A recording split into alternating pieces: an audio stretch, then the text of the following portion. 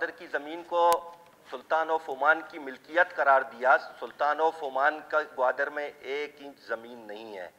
सुल्तान ने जहाँ भी आप पुराने दस्तावेजात वहाँ पे लोगों को देखे उन्होंने फ़र्स्ट टाइम जो एली उतारी थी एली के लिए भी उस लोकल बंदे से परमिशन ली थी। ग्वादर जब दिया गया ग्वादर पाकिस्तान ने खरीदा उसकी पेमेंट 35 लाख रुपए थी जो आ, आ, सर आगा खान ने पेमेंट की। उस टाइम आप हमारी हुकूमत के पास पैसे नहीं होते थे इतने। और उस टाइम भी आप ग्वादर में एक इंच सरकारी ज़मीन नहीं है। मैं बारह कहता हूँ ग्वादर की लोगों की जमीनें उनके साथ अक्तलफी हुई है। ग्वादर की ज़मीन बलूचिस्तान के लोगों की नहीं है वहाँ पे बसने वाले उन गरीब लोगों की है जो अभी तक पीने के पानी के लिए तरसते हैं। और आप उनको कह रहे हो कि ज़मीन सरकारी है सरकार की एक इंच नहीं है ज़मीन।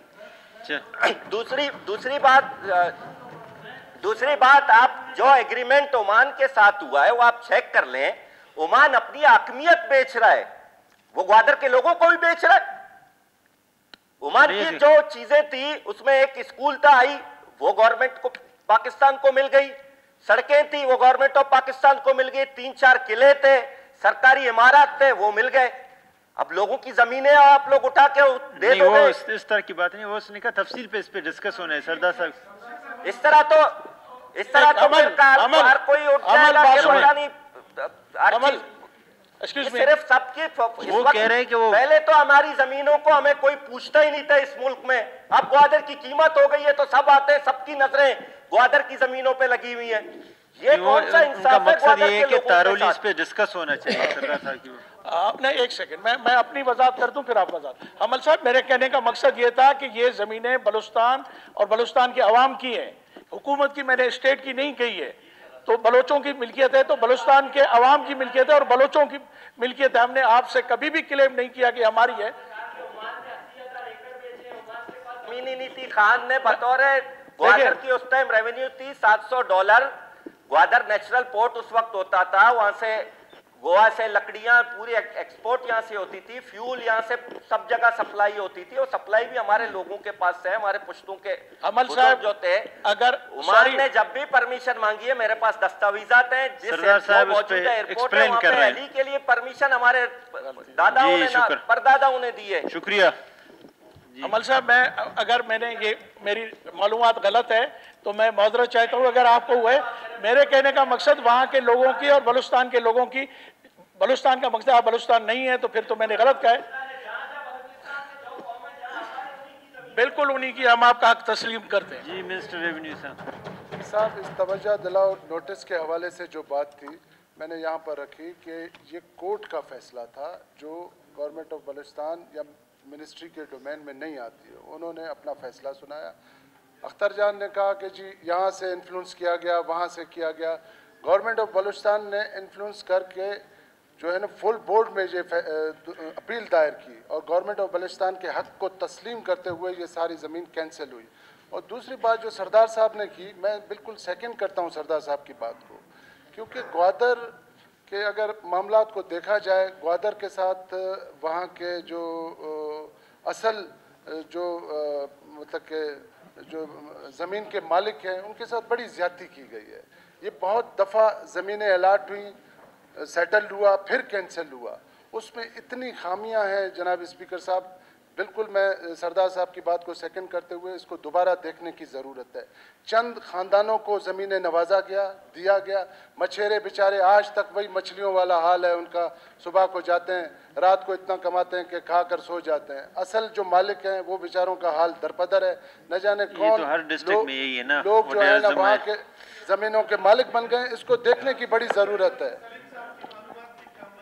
गवादर की जमीनें जो है वो जमींदारों की थी साहिल मछेरों का था। साहिल पे आज भी मछेरे हैं जमीनें जो है वो जमींदारों की थी। और उसमें आज भी जमींदार हैं। बदनीयती की बुनियाद पर जिन ज़मीन एक मिनट सलीम साहब। बस और कोई नहीं है। एक मिनट सलीम साहब। तरह की बात ना करें। मैं आपको सही बोल रहा हूँ ग्वादर की आप पुराने सनदे और रिकॉर्ड चेक कर ले। गवादर की जमीनें जो है वो जमींदारों की थी साहिल पे जो है मछेरों का हक है। जी गुलेदी साहब। हज़ारों ज़मीन नहीं मेरे ख्याल इस तरह नहीं है सलीम साहब। भी हुई है। इस जनाब स्पीकर खैर ये तवज्जो दिलाओ नोटिस है इस पे जो है लंबी चेड़ी चोरी बहस हो रही है। तो होता ही नहीं है लेकिन है कि फिर भी हाँ, मैं आपसे स्पेशल परमिशन माँगता हूँ। जनाब स्पीकर जिस तरह हमारे मिनिस्टर रेवेन्यू साहब ने जो वजाहत की एसएमबीआर को एक अदालत की एक इख्तियार हासिल हैं। अदालत में जो भी जाए, जो भी इंडिविजुअल हो, कि मेरे साथ जो है ज़मीनों के हवाले से अगर ज़्यादती हुई है तो वो अदालत जो है ख़ुद ब खुद वो उस पर जो है वो हरकत में आती है और उसको सुनती है और उस पर फैसला करती है। बेसिकली ये तीन रुकनी बेंच है। एस एम बी आर है रेवन्यू वन है और दूसरा भी S M B R board of revenue two तो फुल बेंच बैठी हुई थी। अब बेसिकली हुकूमत का जो रेप है, वो डिप्टी कमिश्नर होता है। जी डी ए वहाँ पर होती है और जी पी ए है। तीनों जो है, वहाँ पर जाके फरीक बने। उन्होंने कहा कि जो सिंगल बेंच अदालत थी या जो बोर्ड थी, उसने जो है, वो फैसला मेरिट पे नहीं किया है। इसमें मालीफाइड इंटेंशन है। गवर्नमेंट के कहने पे जाके वो फिर ज़मीन कैंसिल हो गई। अगर जनाब स्पीकर अमल साहब की बात भी अपनी जगह दुरुस्त है, सरदार साहब की बात भी अपनी जगह दुरुस्त है। रेवेन्यू डिपार्टमेंट का मौकफ ठीक है। देखिए, गवादर की ज़मीनों के साथ जब से वहाँ पे पोर्ट का ऐलान हुआ है और पोर्ट जब बनना शुरू हुआ है, वहाँ पे पूरे पाकिस्तान में जितने भी स्टेट एजेंट्स हैं वहाँ पे गवादर में आए औने पौने दावों पे गवादर की ज़मीनों को बेचा। और ये बात मैं आपको सलीम साहब की सेकंड करता हूँ कि गवादर का जो असल ओनर है गवादर के माहीगीर, उन बेचारों के पास एक, अपने घर के अलावा एक फुट भी ज़मीन नहीं है। उनकी सारी गुजर बसर, सारा उनका मामला, वो समंदर से है और मछलियाँ पकड़ते हैं और बेचते हैं। अब देखा जाए, चूँकि गवादर में माइग्रेशन बहुत हुई है, दश से भी लोग गए हैं, तुरबत से भी लोग गए हैं, पंजगूर से भी लोग गए हैं बाकी बलुस्तान से भी लोग गए हैं। जहाँ जहाँ से भी लोग आए हैं, उनके पास जो है सैकड़ों एकड़ ज़मीन उनके नाम है। किसी ने पटवारी के साथ मिल के कोई ज़मीन अलाट की किसी ने कुछ और तरीका कर लिया। अब बेचारा असल जो बाशिंदा है वो बेचारा रह गया। अब हमारे एम साहब कहते हैं कि जी वो ज़मीन जमींदारों की है वो उनका काम मछली पकड़ना है। ये कौन सी मंतक हुई? ये अख्तर जो जो असल असल जमींदार है गवादर जो है वो मछेरों का है। अगर इस पे मेरी बात मुकम्मल होने दे। जनाब स्पीकर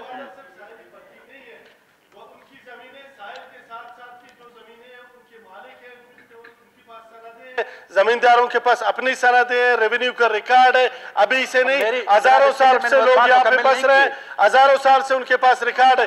बुलेदा की जमीनों का बुलेदा की जमीनों का रिकॉर्ड जहूर साहब के पास पाकिस्तान बनने से पहले की उनकी फैमिली के हमारी जमीनों का रिकॉर्ड पाकिस्तान बनने से पहले की हमारे पास है।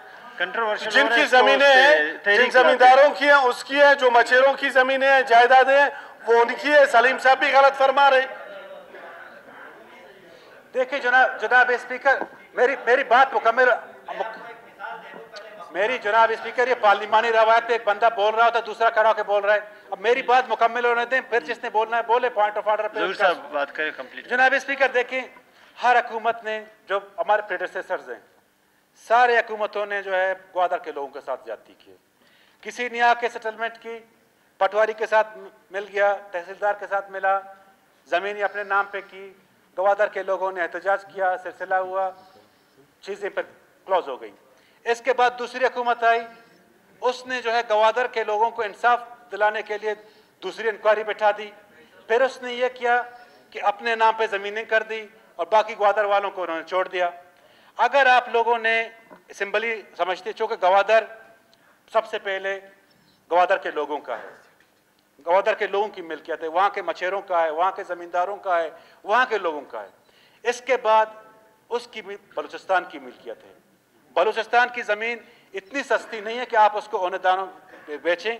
अगर इस पर कोई कमेटी बनाते हैं या कोई और प्रॉप करते हैं, लेकिन ना कि फिर आपको जो है, जब से पोर्ट बनने का ऐलान हुआ है, उस वक्त से लेकर टिल नाउ, फिर सबकी इंक्वायरी करनी पड़ेगी।